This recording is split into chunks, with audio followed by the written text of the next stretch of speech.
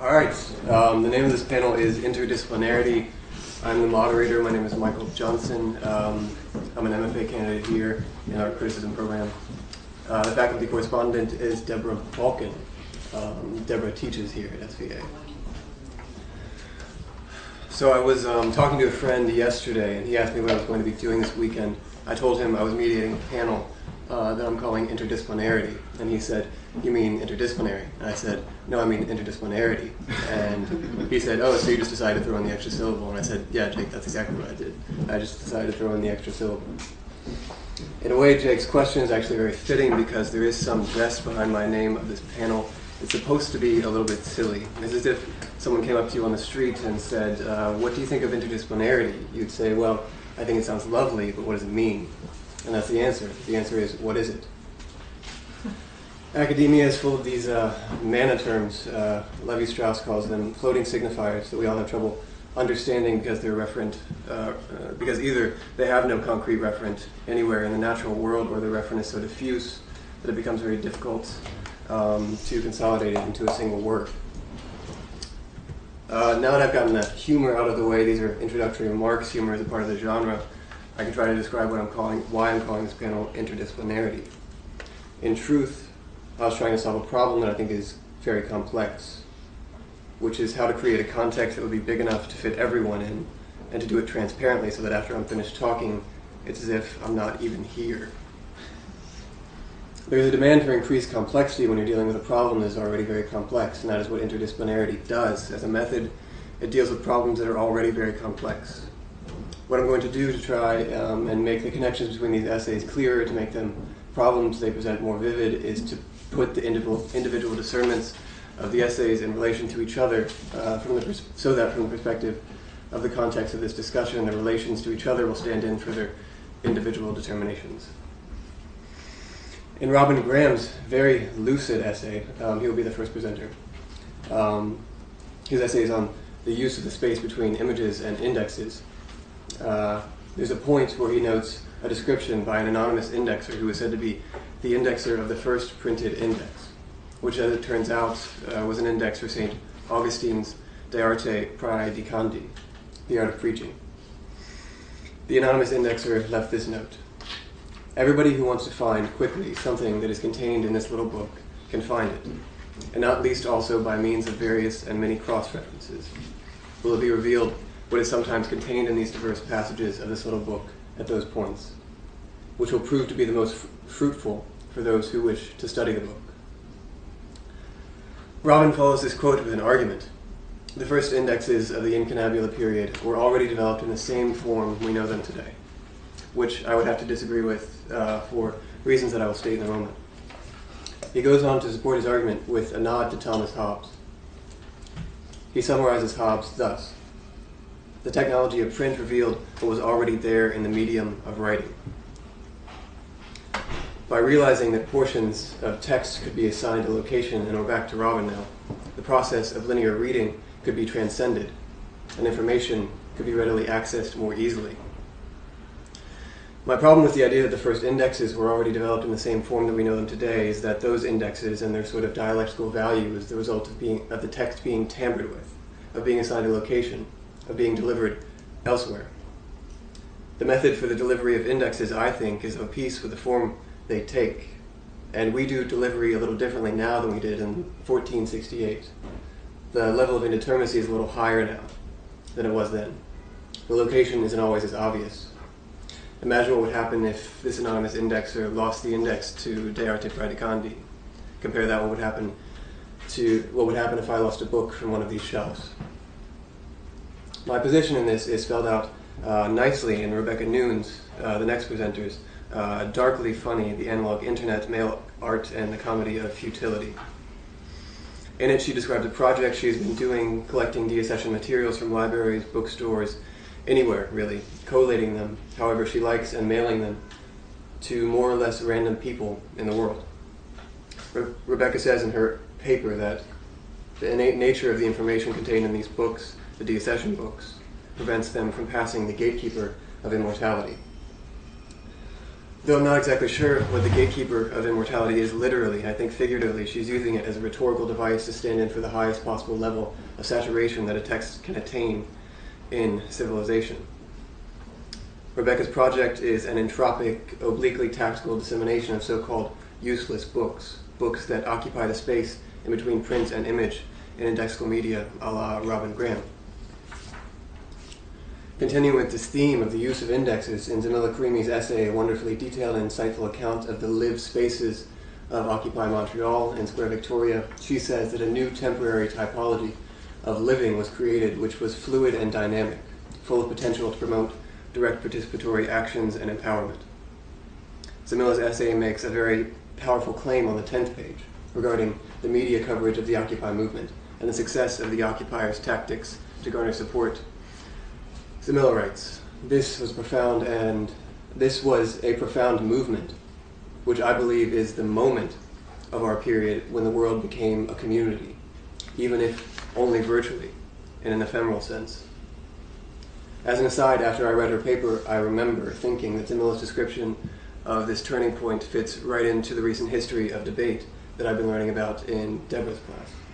Um, something Deborah will be able to address much more fluently than I will, uh, that we're not in a time of debate anymore. We are more or less in a time of consensus. Mor Cohen's paper, the final paper, is a very well drawn map of artistic practices as they relate to the virtual and physical borders in tactical media. On the fourth page, Mor makes a provocative point. She says the internet is not just a tool for tactical action, but also an essential part of, of late capitalist and global logic. Its power to change its structure is therefore limited.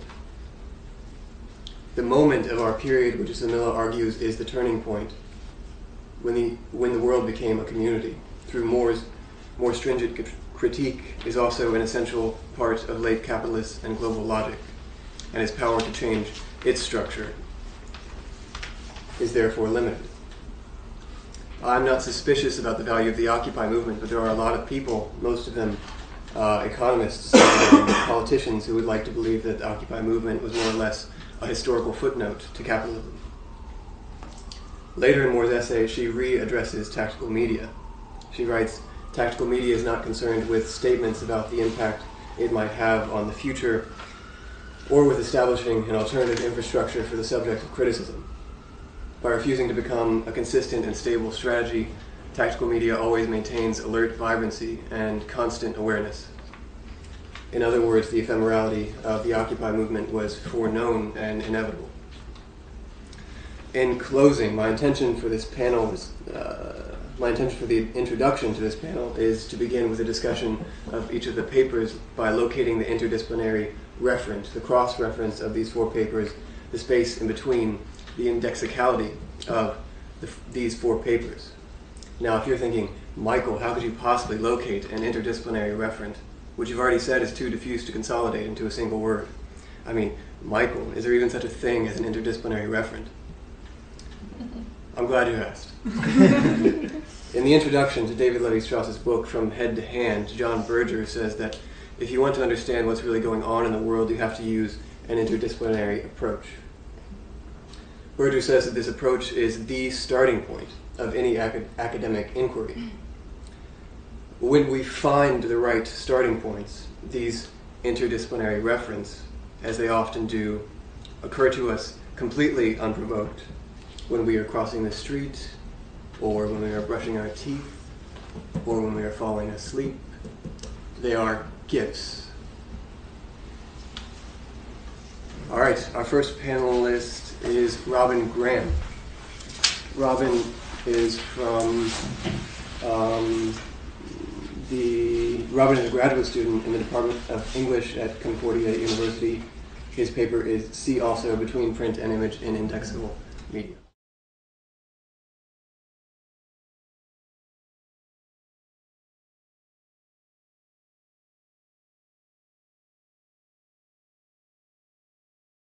So, okay, we so we typically use the word index in two senses uh, today. Um, the first is bibliographic, um, a systematic organizing description used to aid the search of literature, whether academic or otherwise, that is typically included as a section, the back of a print object, mediating the searcher's relationship to the text. Um, the second and etymologically more recent use of the term is the scientific sense denoting a scale or register of an entity with respect to some quantitative value, such as the diversity index in the biological sciences or a cost of living index in economics. These two senses may seem quite different at first because they apply to different types of information. But at a foundational level, they both uh, involve the employment of a particular semiotics. The tripartite theory of iconic, indexical, and symbolic signs, put forward by Charles Sanders Peirce, has considerable influence in semiotic practice and is not discussed only by specialists, but in a wide range of fields, including literary history, library science, communications, and art criticism. Peirce's formulation of the index is often referred to as the aspect of a sign that is really affected by its object. He provides the examples of a weathercock's indexicality to the direction of the wind, or a photograph's indexicality to the objects depicted. So, this is um, a description of sort of like what happens in uh, photographic processing. Um, so the deployment of Peirce's indexicality in criticism is often, it, well, it can be brief and reductive, and as it has to account for a complex web of interrelations between iconicity and symbolism. Um, I want to suggest that engaging a semiotic understanding of indexicality with a material history of the other thing we call an index, that is in a bibliographic sense, um, we can come to some better understanding of how to make practical or theoretical use of the term. So, James Elkins' art seminar on photography sets up indexicality as a central issue in discussions and debates over photographic and other types of image based representation since the late 70s. Whatever conclusions are drawn from this debate, it reveals that using indexicality as a model for the relationship between an image and the object it represents is controversial. Um, the core of the disagreement of this issue is perhaps best read through the confrontation between Rosalind Krauss and Joel Snyder. Uh, Krauss wants us to hold on to the idea that photographs have a direct relationship to their objects. Um, for her, every photograph is the result of a physical imprint transferred by light reflections onto a sensitive surface. For Snyder, this may be true, but it isn't a necessary relationship. He states that when people talk about indexicality, they generally confuse photons with objects. They think that it is objects that are necessarily indexed by photographs. It may very well that be that objects are indexed, but nothing in the way of an object need be indexed by a photograph. It seems as if here Snyder wants to affirm photographic representation, which is made available to be indexed after the film is developed. Despite the fact that Snyder doesn't seem to win over the other participants in the seminar, I want to argue that his position is more in line with Peirce's tripartite formulation, as well as the function of the index in print history. But uh, let's, I want to say a little bit more about uh, position. Um, so, in a famous essay on the role of the index in 70s art, Krauss writes that indexes establish their meaning along the axis of a physical relationship to the reference. They are the marks or traces of a particular cause, and the cause is the thing to which they refer, the object they signify. This physical trace of the object finds expression in tracing, molding, and impression, but not in the pictorial language of drawing and painting. This is perhaps best expressed in her evocation of Duchamp's With My Tongue in My Cheek. Uh, so in this uh, self-portrait, Duchamp makes a sketch of his profile, on top of which he places a plaster cast of his uh, chin and cheek. Um, so for Krauss, this is this manifests as a uh, quote, a trauma of signification, which juxtaposes the indexicality of the cast with the iconicity of the drawing. This fracture in signification is too easily is too easy to properly fit in with Peirce's semiotics, but there are always degenerate forms of iconicity within the index, and vice versa. But more importantly, it seems to preclude representations for being really affected by their object by virtue of not being physical enough. After all, the particular configurations of Drew Duchamp's pencil across the page would not exist without the living artist and his face. Peirce evaluates what he calls the, sign, the degree of degeneracy of a sign from its object. Quote, a sign degenerate in the lesser degree is an obsistent sign, or index, which is a sign whose significance of its object is due to having a genuine relationship to that object, irrespective of the interpreter. Such, for example, as the exclamation "hi" as indicative of, of present danger, which I think is a little bit of an outdated. I mean, like he means "hey" or "watch out," um, but or a rap at the door is indicative of a present visitor. I mean, the it signifies that someone is there, but it doesn't tell you exactly who. So, for Peirce, an index is a sign that can indicate or call attention to its object, regardless of the viewer or interpreter. This is how we can observe a portrait of someone we've never known as an obsistent sign or a lexical sign. That is, as an effect produced through the artist by the physical appearance of the portrait subject. Peirce writes that an index, an index represents object by virtue of its connection with it. it. Makes no difference whether this connection is natural, artificial, or merely mental. In the bibliographic sense of the term, this connection is a way of finding or retrieving information by directing the reader's attention to a certain place within the text. In connecting to a certain point, usually designated by a page number, other information is then excluded or excommunicated by virtue of falling outside the connection made by the index. Here, a distinction to be made between information surrounding the designated term, the rest of the page or the text immediately surrounding the designation, and excommunicated information, all other uh, undesignated pages, unused items in the index.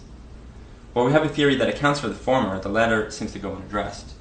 If we think about this in terms of the indexicality of a photograph, should be aware of how attributing it to strictly the objects depicted might excommunicate information that isn't present in mere objects. The index should extend its epistemic purchase from beyond mere presence to the information that could be derived from it.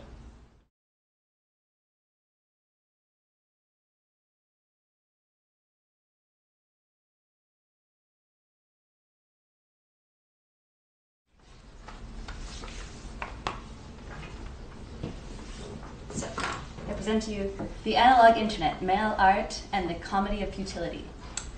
So we inhabit a world saturated with superfluous information a superfluous that extends beyond the vapid details of celebrity gossip or the pointless shampoo instructions that sit unread in our showers, though these examples are certainly part of the overall landfill of information gluttony.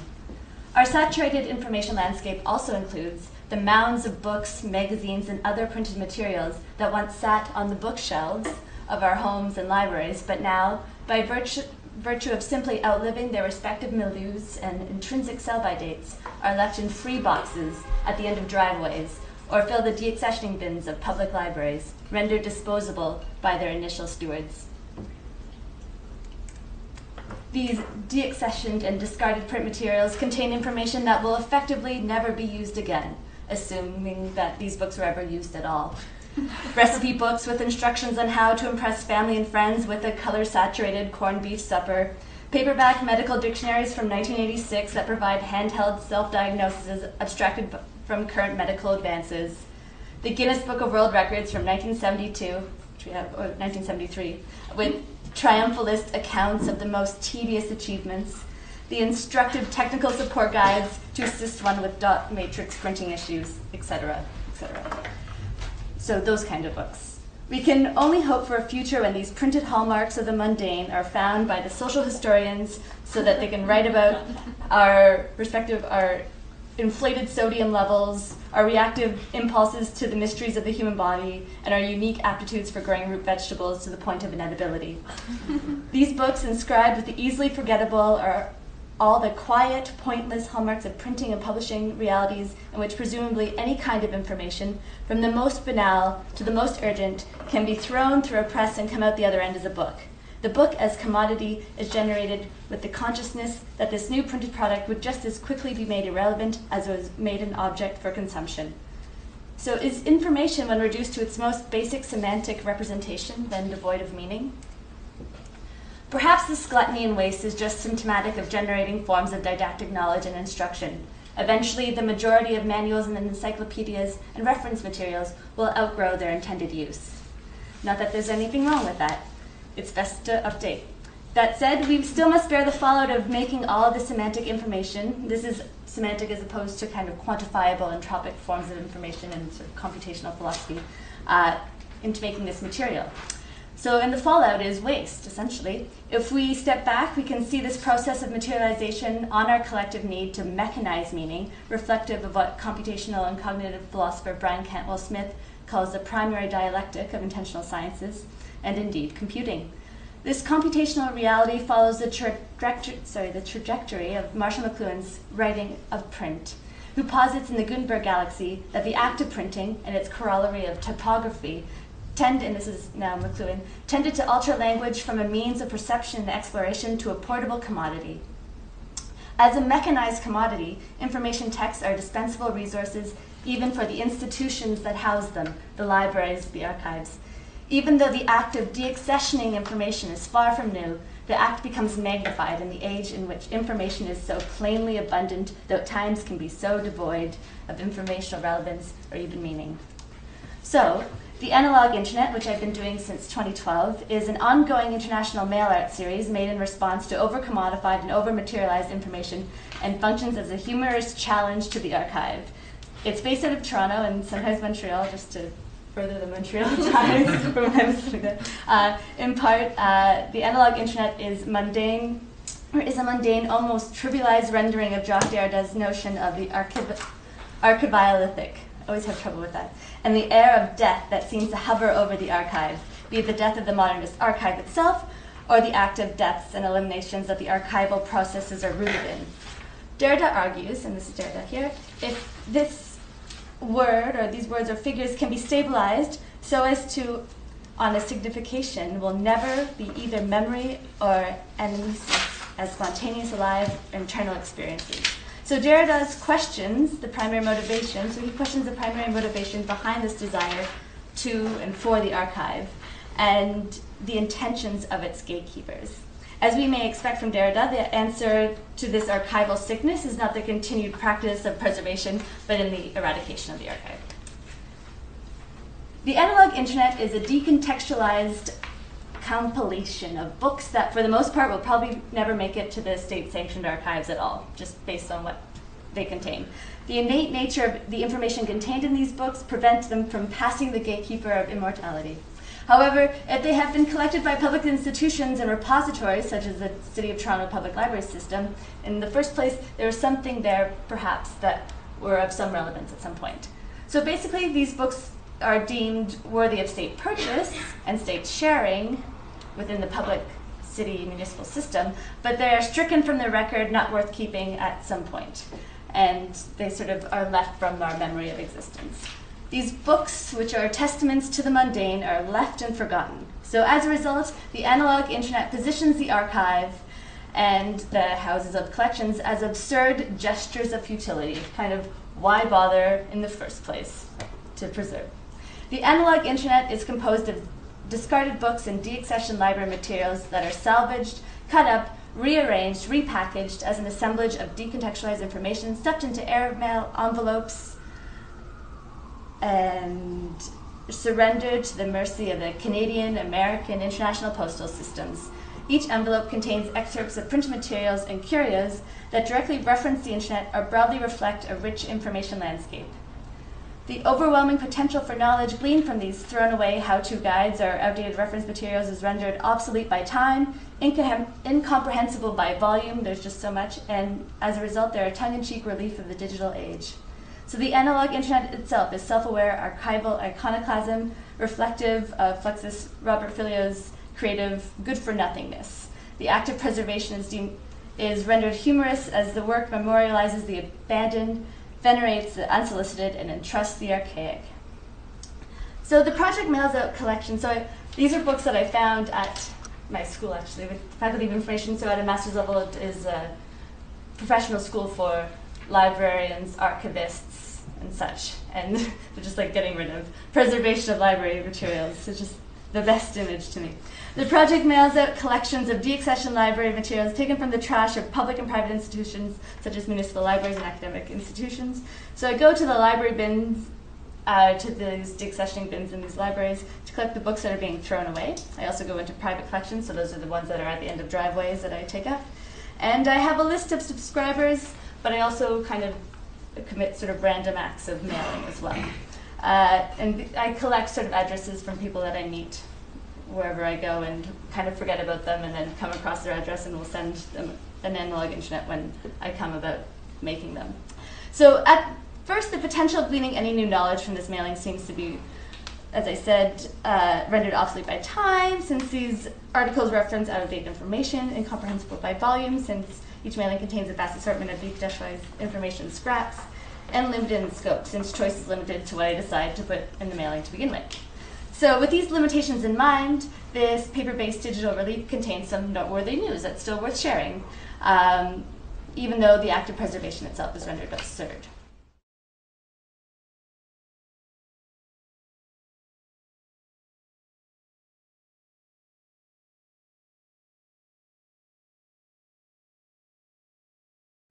Okay.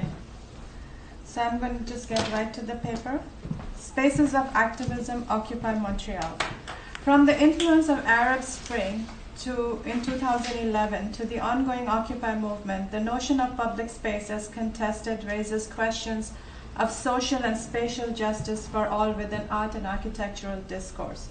During such times of social upheaval, artists, architects, and planners can play a vital role in reshaping our public spaces as sites of actions, meanings, and possibilities, thereby changing our environments as lived spaces. The questions I explore are how does the structure of cities change when ordinary citizens assert their rights to the streets, squares, and parks in public displays of resistance?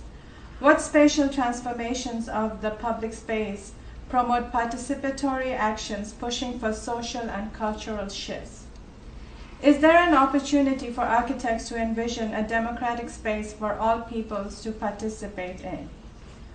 I investigate how Square Victoria, an urban public space in downtown Montreal, amidst its corporate and financial giants, transformed into an Occupy site, thus impacting the structure of the city.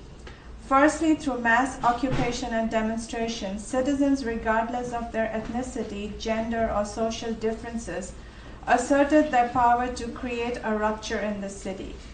Secondly, I state that the physical space was altered by the citizens' democratic will through peaceful protests using basic tactics, new technological tools, and innovative organizational skills. In the process, a new temporary typology of living was created, which was fluid and dynamic, full of potential to promote direct participatory actions and empowerment. Thirdly, I contend that despite its challenges, the Occupy movement has the potential to empower ordinary people to assert their rights to the city, to create common spaces through their collective, collective actions in the public realm. Three critical frameworks provide an interdisciplinary lens to interrogate Occupy movement. The literature of social movement engages spatial theory in public spaces. The artistic practices of socially engaged participatory arts and the role of media in propagating mediated and uh, representational imagery to disrupt both physical and network spaces. Primary data was collected and recorded into a database from activists, journalists, businesses, and other individuals. The visual and material traces left by spatial planning, temporary structures, art and artifacts, and media coverage corroborates the collected information. Using Jonathan Massey's methodology of mapping Liberty Plaza as a precedent, the encampment in three critical phases formed the basis of my analysis. The site's physical features were investigated to reveal social behavioral patterns and spatial organization. The phenomenological aspects as embodied through its materiality, texture, color, shape, i.e. the sensorial and the relational aspect of the temporal encampment was mapped to decipher if there were any common activity patterns between occupied sites. This approach provides a qualitative analysis of Occupy Montreal in Victoria Square and its interpretive output. The political aspect of the public realm as conceptualized by theorist Hannah Arendt and Jürgen Habermas are relevant to my research. Arendt employs the Greek agora as a metaphor for the space of appearance, where citizens and uh, her citizens are mostly white male uh, who gathered together in the agora to question and create a discourse. I am using her methodology of the agora to incorporate multiple publics. And I say that citizens gather together to express opinions democratically. Whereas Habermas's uh, action is, uh, or notion is based on communicative opportunities where internet cafes and social media platforms offer just as important spaces of communication as urban squares and parks. In the contemporary social dissents of the 21st century that we are all privy to, physical urban spaces working together with social media platforms provides catalysts to create common ground and collective power. Sociologist Andre Lafer's um, questions on collective action to create something radically different in the public space asserts the criticality of spatial tactics within architectural discourse.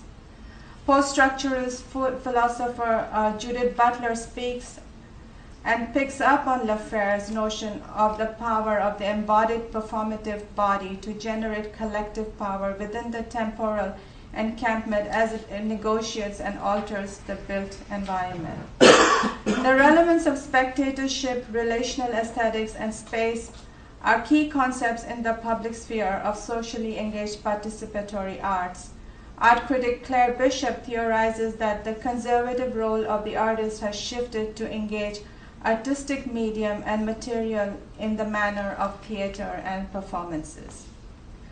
Finally, the role of media as an extension of folk culture, propagating mediated representational imagery to disrupt both physical and network spaces in the public spheres, offers a new understanding as per theorist Henry Jen- Jenkins.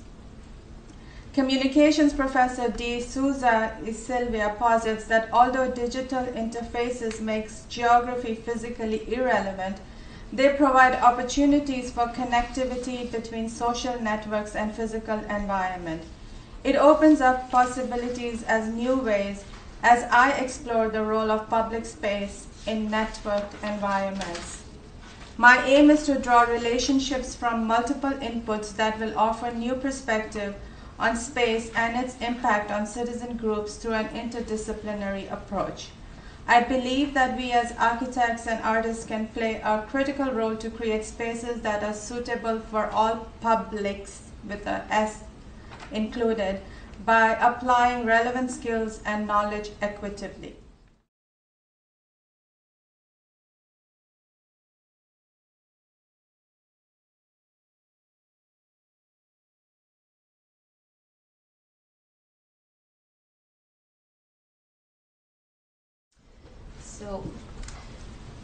Like to start um, with an artwork made by John Klima in 2002 to raise the issue that I'm going to talk about in this presentation. His work is called uh, Political Landscape Emotional Terrain, which is a data visualization project that contains three maps. The first one is a topographical map, the second one is an emotional map that examines life expectancy, and the last one is a political map of operation and human rights abuse. Those maps, as written in the work description, a way to show how we use landscape as a metaphor to describe a seemingly unrelated human condition. One step further, in a data visualization context, it also shows us how we can take life, reduce it into numbers and data, and give this information an aesthetic representation. Political landscape emotional terrain, based on official data from the World Health Organization, US Geological Survey, and the United Kingdom, is an artistic research of the current state of the world. But it doesn't end there since those maps are interactive and activated by A-Star, an algorithm used mostly in computer games to help the character navigate its way across the surfer with the least amount of obstacle, be it the topographical, the emotional, or the political terrain. Therefore, it is not a mere representation of, of statistics, but also provides the user with active tools to explore the relations between the political, the personal, and the geographical. The internet is perceived as a field that can rise above material issues of uh, territory, race, gender, and control. This is true after hours of exploring, chatting, and sharing on the web. We often get the feeling that every notion of time and space completely disappears. For this reason, since the mid 90s, many artists and activists use the internet as a tool for tactical actions, which correspond to social political events. In my study, I will focus on tactical media that deal with the subject of borders and movement. The contrast between the simplicity in navigating online and the difficulty to do so in real life, especially for asylum seekers and foreign workers, raises question about the relations between virtual and physical space and the efficiency of the internet as part of the symbolic field of semiotic regime in shaping and promoting an actual change.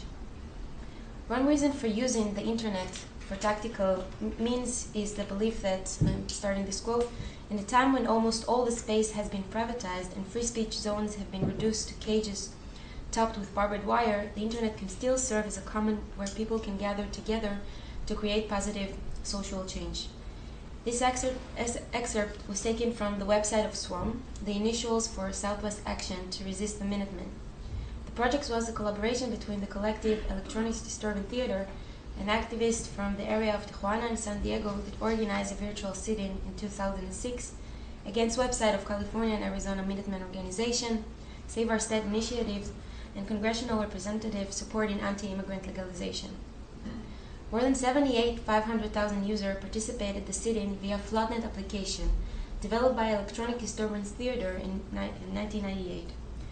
Floodnet was aimed to target website with a denial of service attack that prevents from actual user to enter those sites. The participant sends request file from the servers of the, target, of the targeted websites like justice, freedom, and the name of those who were killed while trying to cross the borders, files that could not be found by the servers. The goal was to interfere the website by slowing them down, and the administrator of the service to realize what was the cause for the problem by seeing the thou- thousand requests for justice and the names of the dead. This optimistic belief in the potential of the internet can be found among other art collectives that emerged in the 90s, such as Art Critical Ensemble. They claim that because the nature of power has become nomadic and decentralized, the resistance itself should move from the street to network and virtual space. Once the act of protest enters into the cybernetic field, it also influences the way we are perceiving reality itself. An example for that is the Border Hack Manifesto in, uh, from 2000 that takes the struggle against uh, the European treatment of illegal immigrants and bringing to the United States-Mexico border. You can see all kinds of uh, posters from the different campaigns uh, in the European No Border Network and also uh, the one that occurred in the U.S.-Mexico. Um, the term hacking used in the manifesto is explained as the penetration, exploration, or investigation of a system with the goal of understanding it, not of destroying it. Thus, hacker investigates software, for example, in order to improve it, much in the same way the artists and activists come to the border so they could learn about it and the role they play in it. Even though the place chosen to set camp for the border hack inve- investigation is in front of the actual border, US Mexico border can also be understood as a symbolic terrain. A border is the point in which everything looks possible but inaccessible. A place where, according to the manifesto, the people, and I'm starting to quote, can smell the future coming from the freeways, from Silicon Valley, from Hollywood, but yet we are trapped in a muddy hill with unpaved street. And in that symbolic point, a camp for net art, border cinema, conferences, and workshops was built for a few days to deal with the partition of first and third worlds, the one sidedness of the border only to the north but not to the south, and the question of who is considered to be legal and who is not. But the stability of borders cannot be reduced into immigration and physical borders. Between the years 2001 to 2011, Heath Bunting and Rachel Baker working on BorderXing Guide, crossing and documenting national borders within the European Union and without using any papers or relevant uh, documents. Here in this um, diagram, you can see um, uh, the different borders that they tried to cross. Uh, the, gray one, the gray one are the one that they didn't uh, manage to do it yet. The green one is, are the one that they try that succinctly uh, cross cross, and the yellow and the blue one are the one that was much more difficult to do so. Took s- uh, a few times because of the weather, the physical condition, etc. Um, the rationale for this guide was the fact that European countries were unified under the same currency, but when it comes to physical mobility for people, even tourists and citizens, it is still difficult to cross borders. For Bunting, Borders and Guide is a part of a larger investigation of creating uh, maps and alternative networks that will bypass the global economy network. In order to see the documentations of Bounty website, one has to log on the internet only from authorized public spaces such as galleries, universities, and coffee houses. Citizens living in country with some kind of conflict also have full access. But the ideal spot to log into the guide will be in one of the location of the physical trip, since the whole idea of this guide is eventually to head out and cross the actual borders without going through the official checkpoints. And this is example of crossing uh, the Strasbourg uh, and um, Germany border. Um, it's explained legally how to, which document uh, equipment do we need to do so, uh, documentation of the journey itself, and eventually the conclusion uh, of, of crossing the border. Mm. In order to see, um, sorry, um, in this way, BorderXing Guide uh, goes out against any kind of uh, private consumption by restricting access to the guide for private IP addresses, thus also breaking the myth that the internet is borderless. According to Critical Art Ensemble, the net is culturally and politically bordered, and its meaning is constructed under the authority of capital's var- variable of separations. By reversing the situation, make it so that the internet is restricted and physical movement is encouraged, we also stop taking for granted the online freedom of access of knowledge as an obvious assumption. The internet is not just a tool for tactical action, but also an essential part of the late capitalist and global logic. Its power to change its structure is therefore limited. And it's not only the online activism that is li- limited in dealing with material issues, but the whole region of the symbolic is put into doubt. Ricardo Dominguez, one of the co-founder of Electronic Disturbance Theater, acknowledged the fact that acts of electronic civil disobedience, such as swarm, has only a cer- certain symbolic efficiency. The power is decentralized and therefore has presence in the virtual space as well as the physical one. For that reason, no actual damage will be caused simply by disturbing its websites. The feeling of powerlessness can be understood through the, the, the, the character of the tactic itself in that it is determined by the absence of power. According to Michel de Certeau, tactic is an action that is lacking its own place and therefore will always be temporal and limited by the possibility of the moment. In short, a tactic is an art of the weeks, or as David uh, Garcia and Geert Lovink phrase it in their manifesto, The ABC of Tactical Media, it is the art of the happy negatives. Those are groups and individuals who are feeling detached from the dominant culture and its symbols, but will nevertheless make use of it in different ways, more creatively and critically. This is why tactical media is not concerned with statements about the impact it might have on the future or with establishing an alternative infrastructure for the subject of criticism.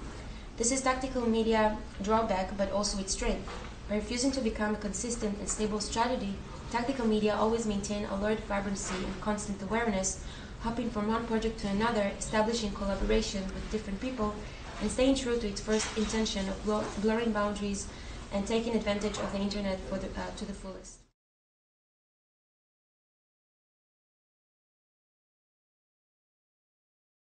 Uh, I have a few questions.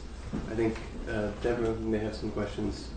Um, I should also say, Deborah is an independent curator and writer who has organized numerous exhibitions on subjects relating to American modernism and contemporary art for major museums and nationally. Um, her book list is long. Her books include Philip Guston's Poor Richard and Abstract Expressionism Movements in Modern Art, as well as recent exhibition catalogs, Dove O'Keeffe, Circles of Influence, After Many Springs, Regionalism, Modernism in the Midwest, um, and yeah, she teaches here too. So, Deborah, did you have any questions that came to mind? I'd like to ruminate on some of your questions. Okay. Um, well, so I met with almost everyone before they came here through Skype. Um, but one thing I didn't ask anyone was just where did your papers come from? Did you do them for classes or did you do, do them for um, just personal benefit? Um, well, yeah, my paper, I mean, it originally kind of like the, the German that came out of a class um, term paper that I wrote, but then kind of like extended into various other like terrains of inquiry. But it was like, it's a class on media and genre in the 17th and 18th century. So, I mean, uh, we were just like reading a lot of like early theater and like, uh, like novels and such, and like using contemporary media theory to kind of like approach um, like forms of media. Um, but I mean, in in leading up to this conference, I kind of like started to think a lot about its um, project's uh, relevance to visual art, which is something that I hadn't thought of really much about or written about ever. So like I was kind of just trying to like apply this um, this project for a literature class into uh, like the domain of uh, visual art. So I that's I guess where it came from. Um, so I this project I've been working on and I've presented in different forms, uh, and I do other projects as well that sort of about or sort of explore the relationship of humans to information in sort of co-creative ways. This one less so, and uh, and that is why I am sort of beginning to pursue a PhD at the Faculty of Information to sort of pursue a practice-based exploration of um, of these relationships. And so this was an opportunity to sort of reflect on on this project uh, in a written form, which I had begun to do.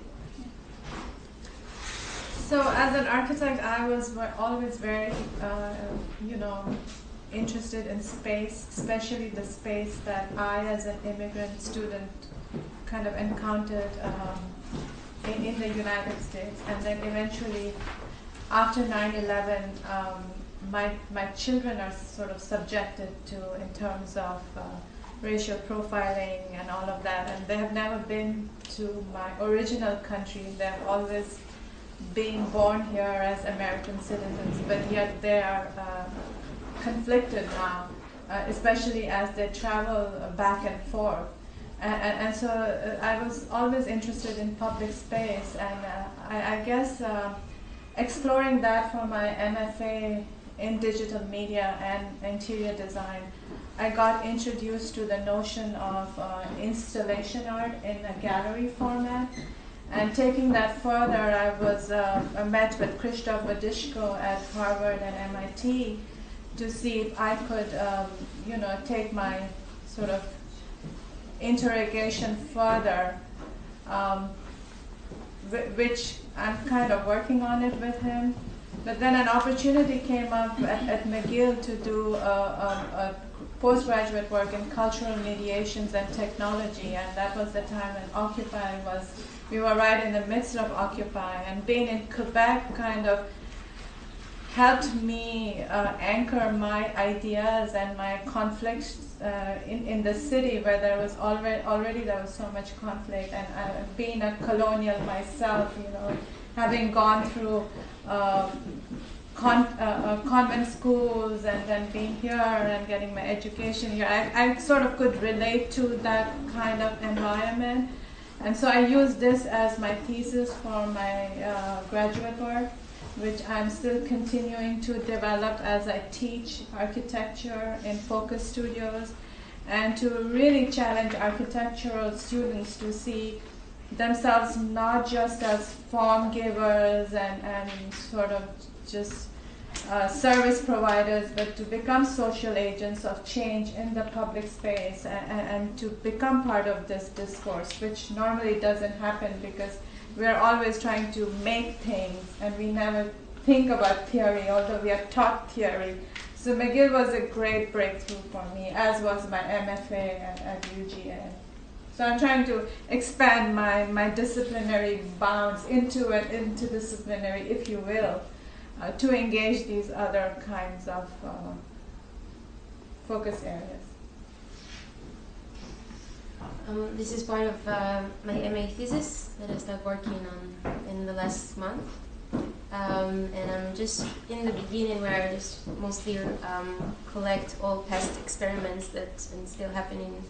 Um, that it's easier to find uh, those um, in mostly in the European borders and US Mexico, and I'm hoping to use it as a case study also to um, to examine uh, the asylum seeker issues in, in Israel and to see how if there are also similar um, projects that also occur in uh, in my country to, to raise the, the problems of uh, of physical borders that um, um, it's very hard to, to define. And and also the way that um, problem that come from the outside So Israel can also um, make it aware of other problems um, inside Israeli population, whether it's uh, the relations between uh, periphery and central cities or the different um, ethnic, um, ethnicity um, in inside the Israeli population, Um, and those uh, projects were kind of uh, inspiring me to see the whole issues of asylum seeker in Israel in much more different point of view and how can we use this tool in order to, to try to solve those problems in- also there. So. So everyone's papers comes from come from academics. Yeah. And personal interrogation. Yeah, I was going to ask, how do you, um, how did your topics or how did your um, sort of styles vary from, differ from the people who you study with, your peers or your professors? So, if I may, um, when I went to McGill, and those of you who are from Montreal can probably attest, uh, my topic was viewed very uh, uh, discursively and doubtfully because it, it was the time that it, we were uh, going through the student movements. And so I was getting reactions from faculty and students thinking that I was politically engaged with their uh, sort of qualms about tuition hikes or, or social. Um, Maybe you'd like to explain to us that don't know what that move, student movement is about. Okay, so the student movement in Montreal was in 2011 and it was against tuition hikes. Uh-huh. And, and, and so this was the sort of, there was a history to it. And it I don't think it was the money that was more important as more the value and the concept. And, and if anyone of you might want to add to that.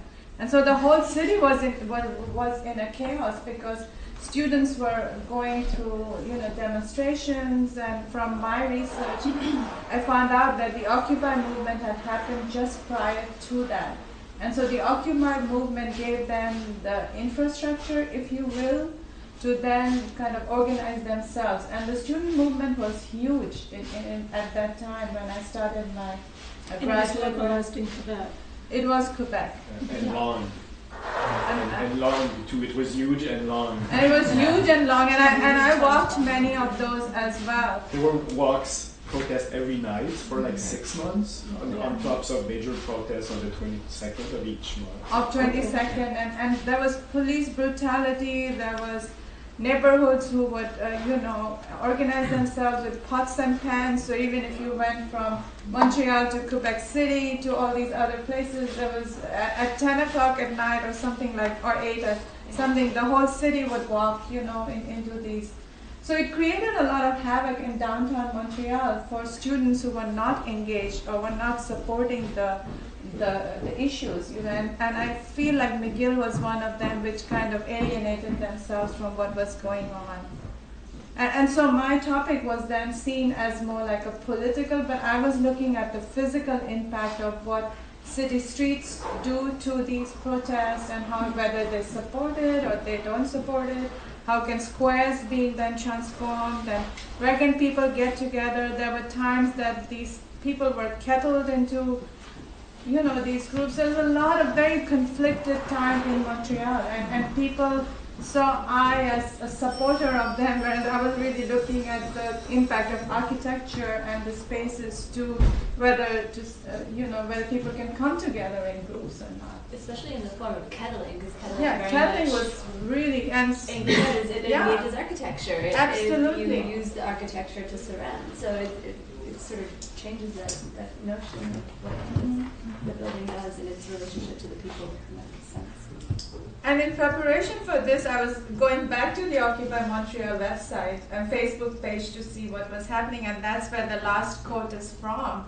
That you know that has sort of become the play, the city of repression in Canada. You know, and and and the police is very proud of what they are doing. You know, they are just like so. There's, I mean, there's a lot more to it that I don't understand, and and I want to kind of continue this research to to to, to really understand the state of what each one of us are going through in our cities. But like with this Missouri uh, thing, you know, in Atlanta, I'm, in Atlanta right now, and people came together the night the verdict was, uh, and you know, you could see Peachtree Street, which is our major street in Atlanta.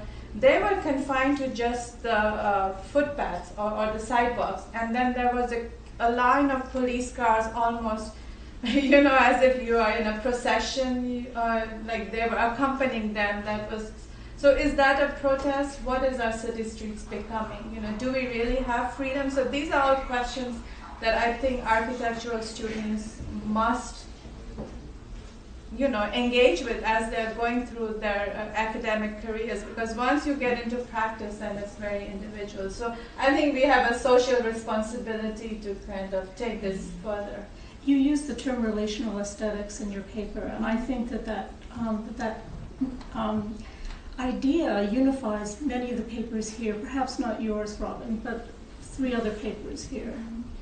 Do you want to elaborate a little bit on, on how? So I feel like you know when Claire Bishop, I'm very interested because this book when it came came out, the whole notion of participatory arts and you know how art is also going into an area where we are talking about social the questions that affect us as a humanity, and and, and so what each one of us does, I, I feel has a relationship in, in a larger context. Mm-hmm. And, and so I was looking at it more as an affective dimension, so that people there were really, really critical to the environment that, that kind of came out of it. And so in that sense, the what the artist did with, with just the posters or, or, or you know doing jam sessions or whatever, it kind of all came together to then create this environment that kind of affected, and it was always in a sense of transitional in the long term. So that's, I guess, where I was. More, do you think that, that um, relational aesthetics is an extension of your paper as well? Um, I think the opposite. That the, Really? the, the um, because if, if I remember correctly, the, the relational aesthetic it's the way of taking um, the current situation of the ordinary life and put it in, inside the gallery's context and to examine it as some kind of um, lab or something. And I think they what those uh, collaboration between the activists and artists did was um, was the opposite to use all kinds of different aesthetic languages and to bring it to bring it to the actual place that um, those issues are happening.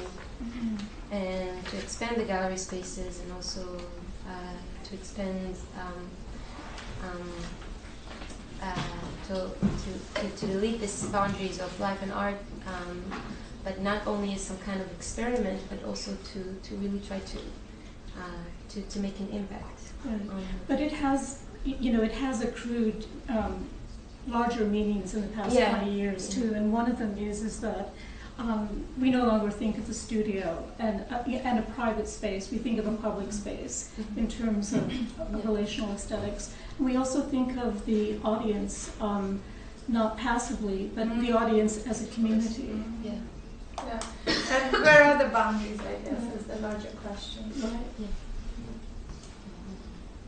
I don't know if you know. Yeah, and that note that um, I guess the point you're raising in relation to Bishop, but that ne- necess and you touched you're talking about it too. This that need for using it as an antagonizer rather than sort of a sing like reflective of a singular community that Right. are like multiple participants across virtual spheres. So is the analog internet a collaborative or a group of one, like the Atlas group? What do you mean? Your, the, your, The project that yeah, I, I, yes. just me. It's It just sta- you, I okay. started the first one as a friend, and he was like, "Good luck to you in your endeavors." Uh, Yeah. He wanted to do the jokes, and I was like, I, I was really pushing for the book, but uh, th- and uh, so it's it's just something I do. I do it every few months. Um, make about anywhere between ten and thirty-five at a time, and it's nice to just send them out. Yeah. Do you send them to anyone who you have never met? Yes, definitely. Yeah, people I've never met. People are like if I, I don't go and find. That's a lie.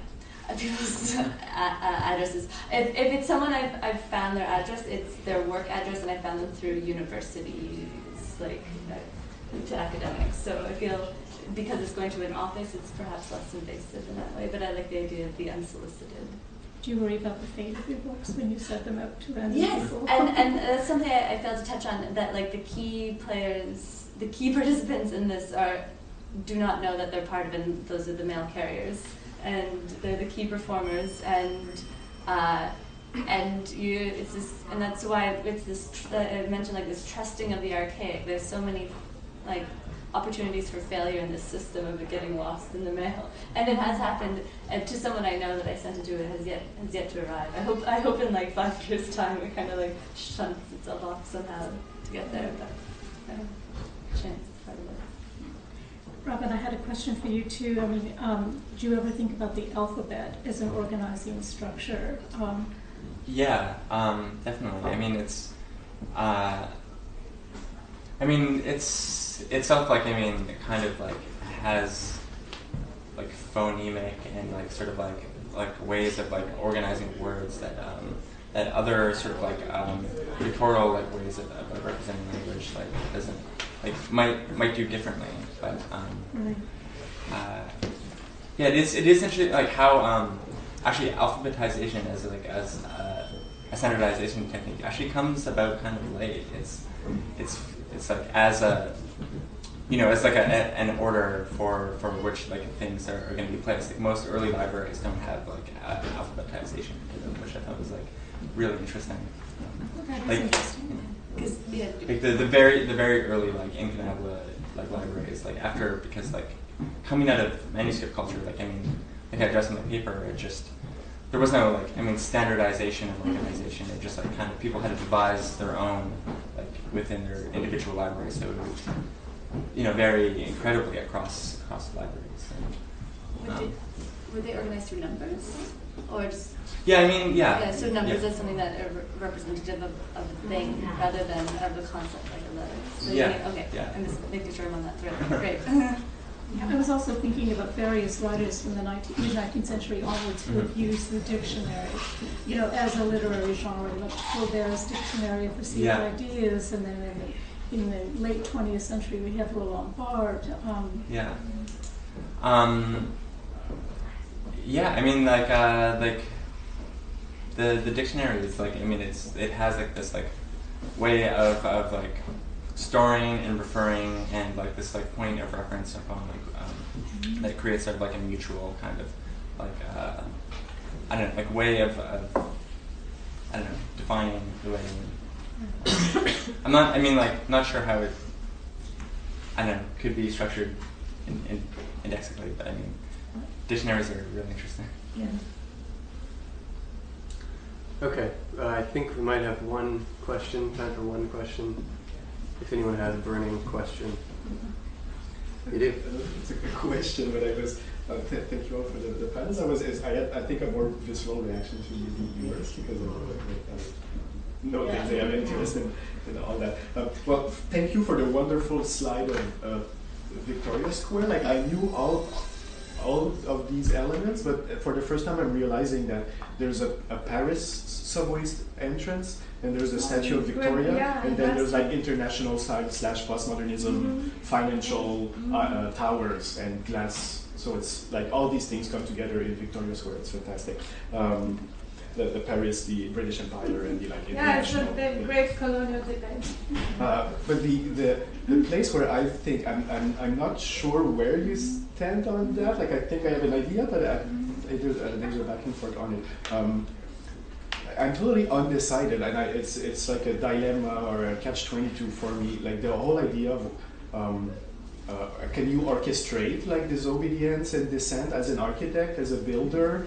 Like I'm, I, and I'm always coming back to this discussion between uh, Robert Smithson and I think the other guy is Kaprow, but I'm not sure. But it's Smithson's Yeah. point is like I need the authority of the museum to put holes in their walls. Like what what could you, what would what would I do without like this authority? What would we do?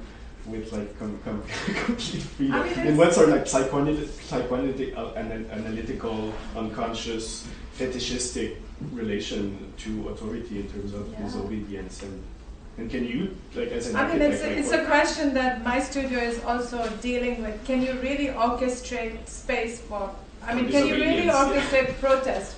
Because if you say yes, you can, then it's not no longer a protest, Yeah. right? You've That's yeah, it. you've identified it. So it's really very interesting that we were looking at it within the context of, of Atlanta and its downtown. You know, um, I think as architects, you you I mean, as any artist or architect, I, I think you cannot orchestrate a protest or disruption, but it happens. So what you can do is kind of provide an infrastructure so that you know there is uh, capabilities of, of, of coming together. So I think why Victoria is very interesting is because you know underground subway pulls you right up into Victoria Square, if you will, through that Gwinnett metro station.